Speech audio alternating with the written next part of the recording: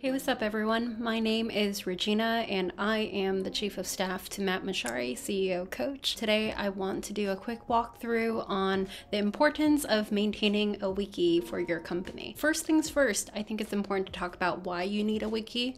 Um, there are a lot of companies that I think function for a really long time, um, just focusing on building product, which is super important in the very beginning. Um, however, eventually you will hit a point where you're going to hire people um, and potentially hire many people.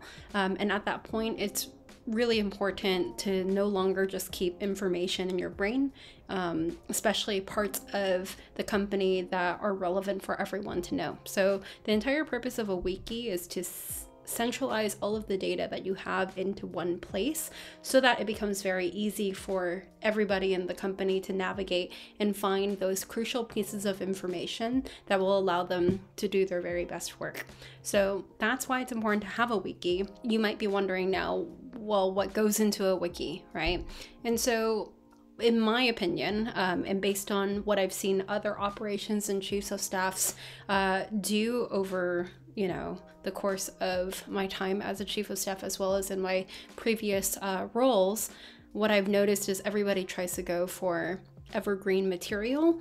Um, and what that is defined as is essentially um, anything that will pretty much be true for a really long period of time. It's not supposed to be a working doc of any kind, although I'm sure there are times when you're workshopping uh, pages in a wiki. Um, but in a nutshell, you're thinking about it sort of like it's evergreen material in that um, you're not going to change it very often and it might need just little bits of maintenance. So that includes company faqs that includes um, maybe areas of responsibility that you maintain um, and update once a quarter. So there are components in the wiki that you do have to update from time to time but it's basically a centralized place where it's really easy to find those pieces of information, whether you're at the company for a really long time and you just need a refresher, or if you're a brand new employee trying to navigate your way through a company. That's a little bit about why you need a wiki and what kind of information goes into one.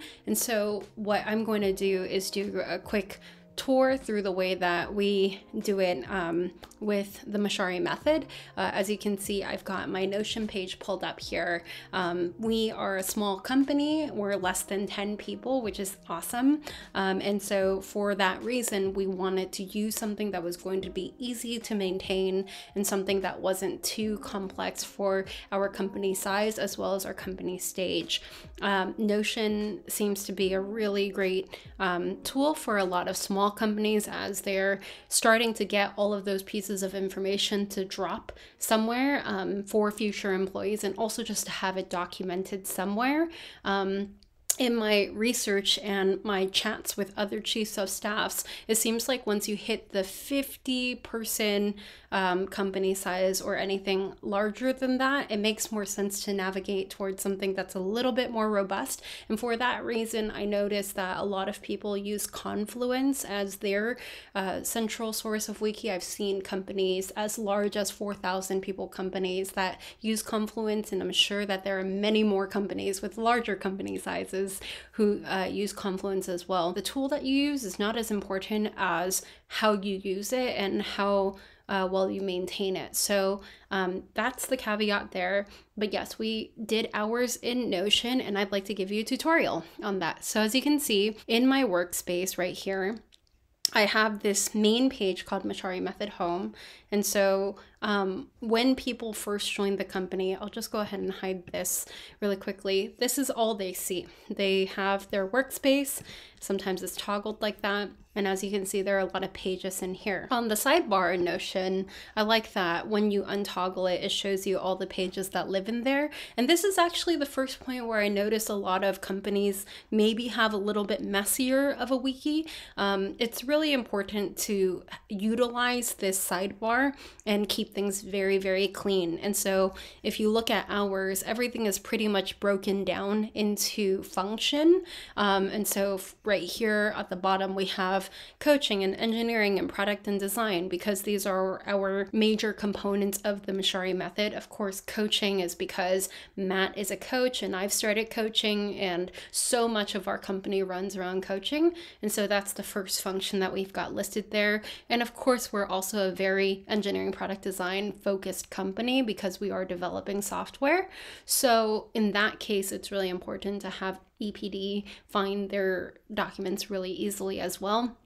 And then from there, you've got the people HR um, function along with operations, which um, I also uh, oversee, and then customer success. So the coaches that we work with, um, finance, things like investing into all of the other companies. And then these two last um, pages right here, you've got processes, which is where we document all of the how to's that um, make the company function, as well as any miscellaneous documents.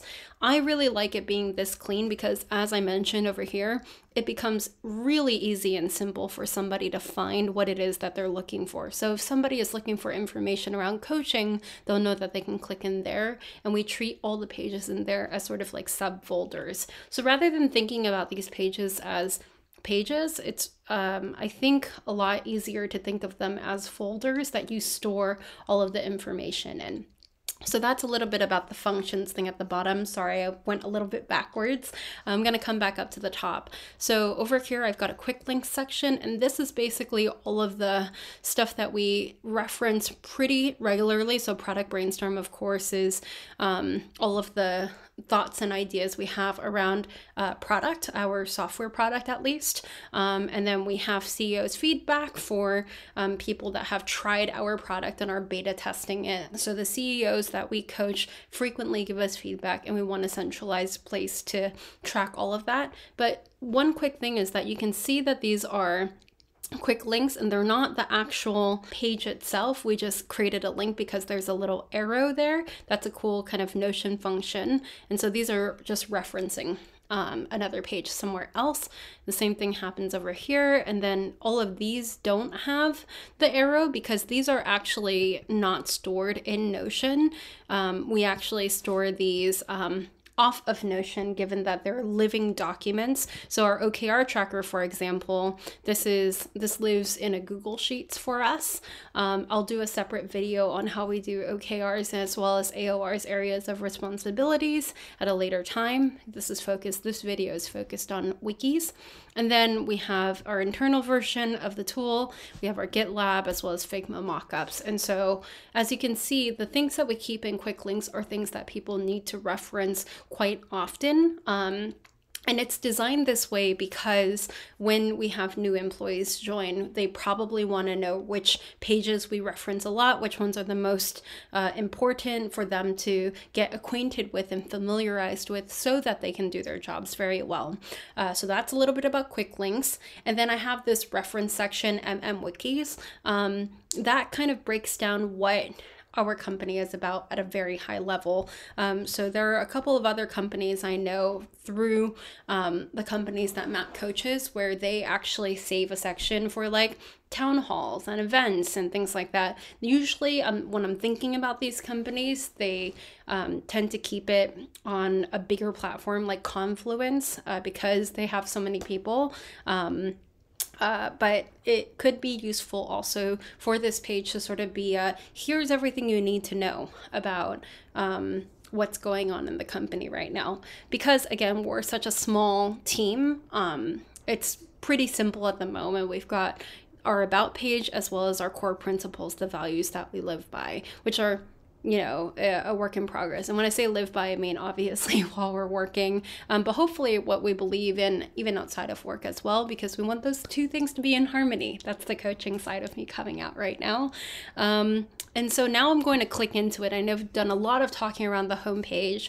Um, I just think it's really important to have this be very clean. Um, and so I'm going to click into one of the functions. This is our coaching function. And as you can see, we've got evergreen resources. These are uh, things that we uh, reference quite often. And then I've got a special ops component section here. This might be a little bit confusing for people once they first see it because they might think, Regina, you have a whole page dedicated just for operations. What's the difference between operations versus coaching? And it's a really good question. Um, and I suppose I should clarify it to the team but we have uh, an ops component for specifically our coaching stuff. So that's things that um, matt does with his coachees and we have operations components there. And the operations here is specifically related to our software team. As i mentioned we're coaching but we're also building software which is why we have an epd team. Um, and so that operations uh, page is more for engineering product design related operations work.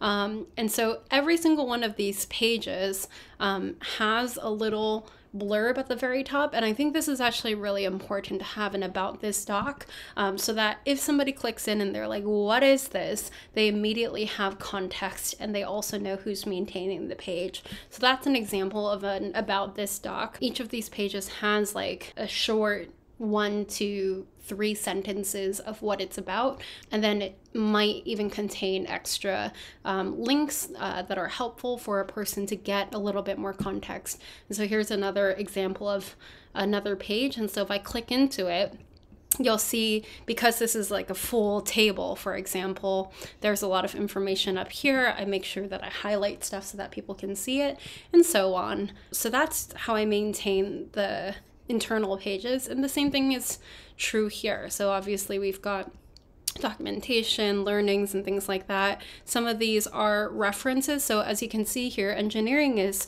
very closely related to product and design. So we make sure that we keep a link there. Um, the, the point here is to make it as easy as possible for people to um, to, to access things quickly that they're going to need to reference pretty often. And then, you know, I get a question quite often of what you do when pages become deprecated.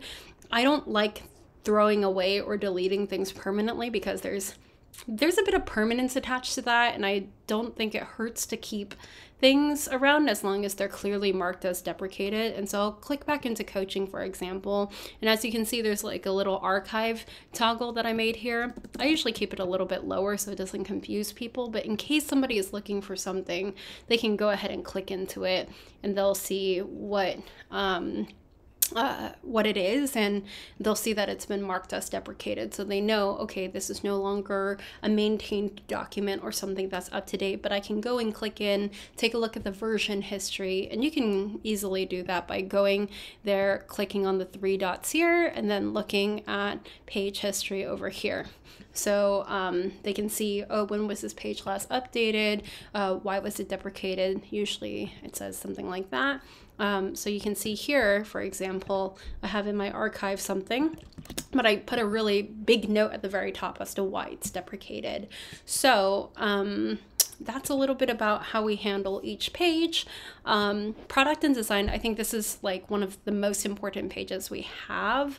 Um, it's mostly because, like I said, so much of our um, of our work is around EPD, and so this page gets visited quite often. And as you can see, they've got documentation and they've got planning for around product. And then uh, we were doing a product refresh, and so we are writing out a bunch of docs for version two.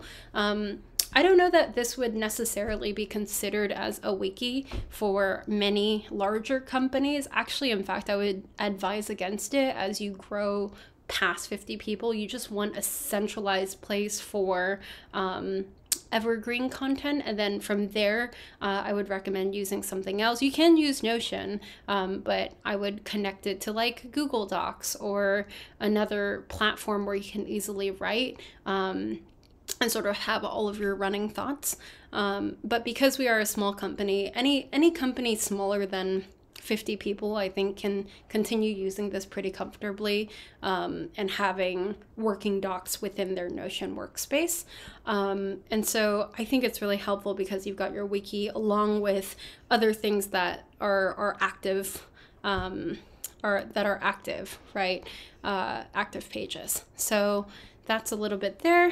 Um, I can also, I should note, most of these pages are um, viewable by the entire team. Of course, you can configure it so that it's shared Um, here, you can also hide certain pages. So, for example, our people HR page is shared with the entire team, but for example, hiring usually contains some sensitive information. And if you're a workplace that doesn't want to share some of the sensitive information across the board, um, it's possible to configure it so that your shared uh, is um, done on a case by case basis.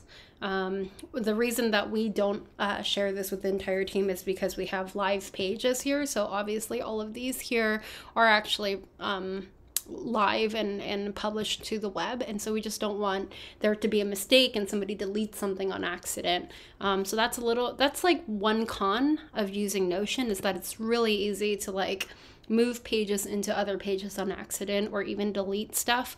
Um, there have been many a time in my uh, time using Notion, whether it's here or at my last role, where somebody accidentally deletes something, um, which can be very problematic if you're a really really large company and the more people you have kind of in there um, messing with pages or like using the tool, the more chances there are for something like that to happen.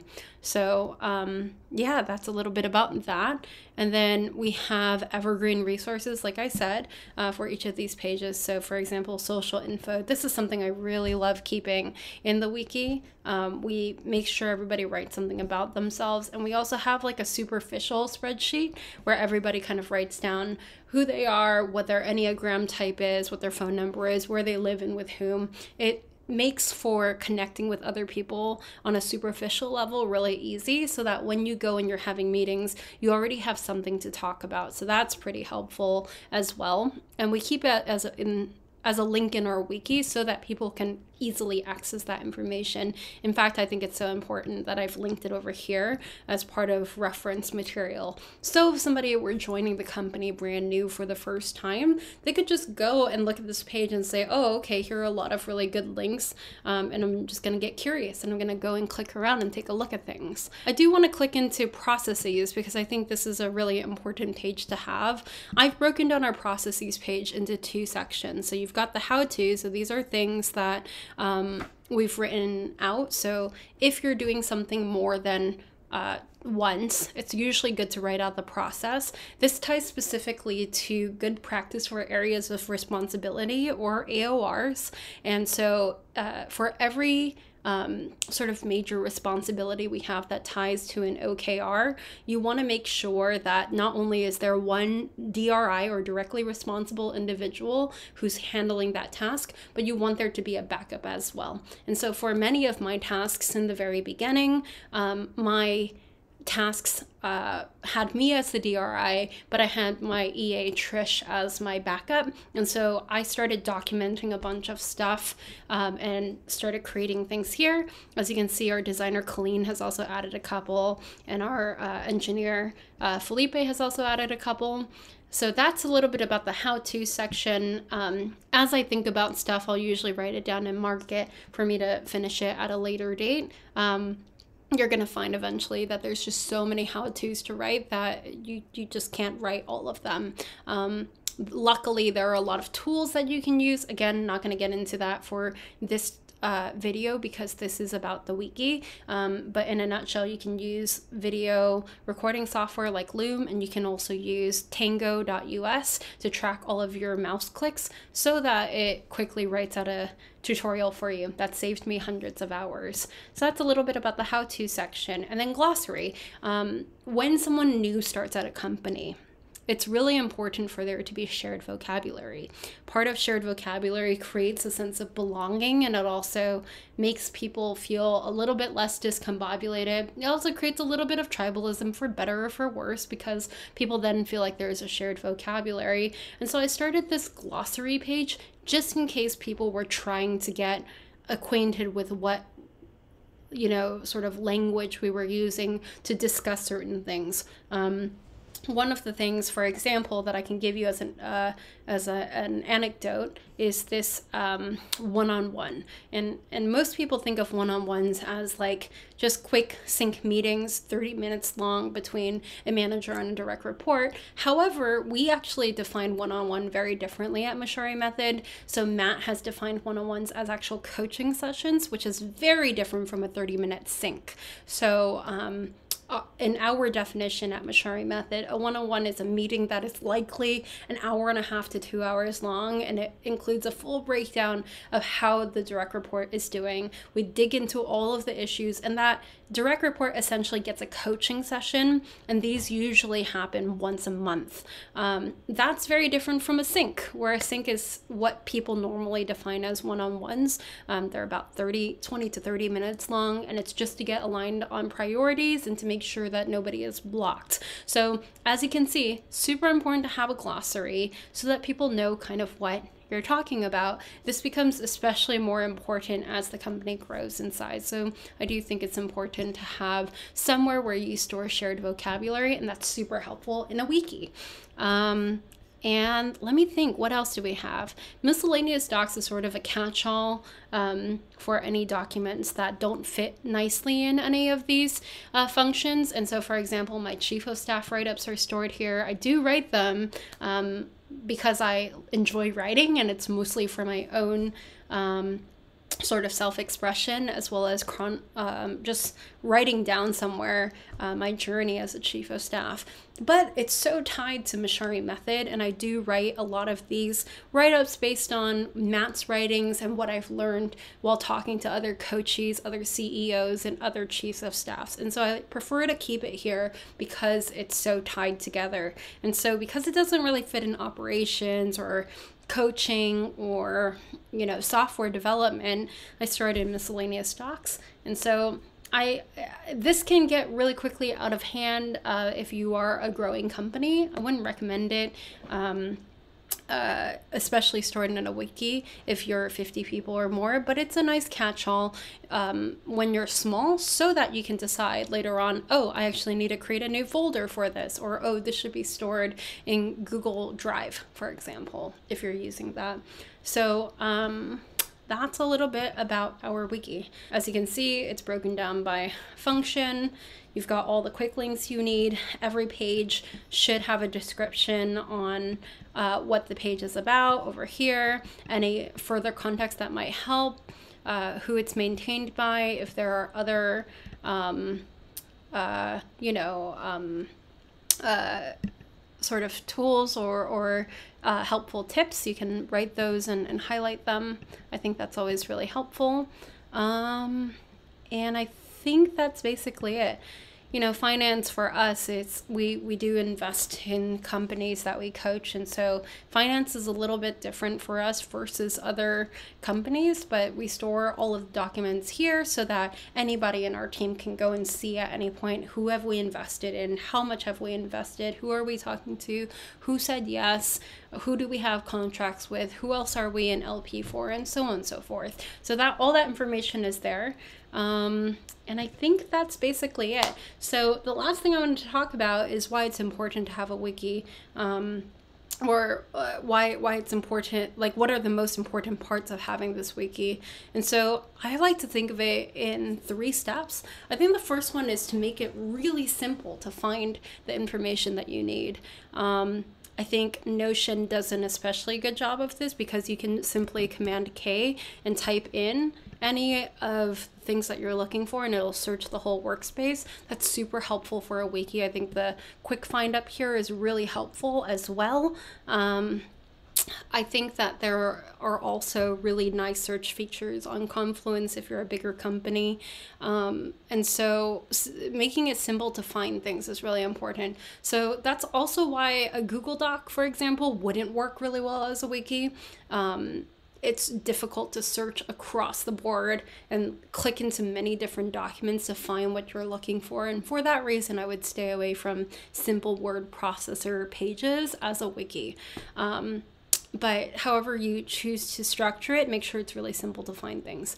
The second one is to make sure that all the documents that are in your wiki are relevant. So, um, like I mentioned, we have quick links here as a good example for um, why it's important uh, to to have these links here and why it's important for people to look at the wiki. Um, you want to make it relevant to the people who are searching for it because if you build a wiki and it looks really clean and it looks really nice and it's visually uh, uh, like it's aesthetically pleasing, but people can't um, find the things that they're actually looking for and the things that they see are not relevant, they're not going to use it. So that's the second thing. Um, you want to, in in this in a similar vein, you want to make sure that your wiki is not overwhelming. I've seen some wikis where there are just pages and pages and pages of content, and it's not stored in something that's as clean as this. And so for that reason, you want to make sure that you're not storing irrelevant content in your wiki. So make sure that it's relevant. So number one, make sure that it's simple to find things. Number two, make sure that it's relevant. Number three, this is the final piece and the overarching theme that I've heard in all of my research. Um, I think it's really important to make it easy to maintain. So whoever is the DRI for maintaining the wiki page, it's it's important that they know how to use it. So if you hire someone, let's say you hire an EA and you ask them to maintain your wiki, um, and and you're doing all sorts of crazy things in Coda, for example, or Confluence, and it's just a mess. And there's or maybe there's just no DRI, right? Maybe somebody nobody made it clear who was supposed to maintain stuff, things will very quickly start to unravel. You'll start having information in many different places. You'll maybe get some strong characters that go, I'm just going to try to maintain, you know, this section. And then you end up with a vastly different um, sort of uh, uh, end product with other people who are trying to maintain it their way. So make sure that there's somebody, like one person, who's responsible for maintaining the whole wiki. Um, usually that person is, you know, a director of communications, internal communications. That person could be HR until you are large enough to get a, a comms person. It could be an operations generalist who is very familiar with all the different pieces of the org. Um, could even be an EA. The whole point here is that whoever is maintaining it now, whether it's you as the CEO or you as the chief of staff or someone else, whenever you bring on that person, make sure that you have them shadow you and make sure that they have mind melding with you so that they know how you think and they know how you make decisions. Um, in maintaining the docs. Um, it's also important that they touch base with the right people. Um, so, for example, if something in the product design page is out of date, um, they should know who to talk to to make sure that it's maintained and, and up to speed. Or let's say that there's a page that doesn't have like this, you know, one sentence about um, the project or, or whatever, right? Um, I'm going to click back into this as an example. Um, maybe it's just not um, clear. And so that person who's maintaining this wiki should know who to contact. Uh, so that's really important. So those are the three things. Make it simple to find things, make sure the content is relevant, and make sure it's easy to maintain, whatever tool you end up using. So that's it about wikis, and I hope that you learned something from this video. Um, let me know what you end up using. Feel free to share your wiki setup. Um, I think it's best when we all share what we're up to and learn from each other. So I hope to see you again next time. Bye!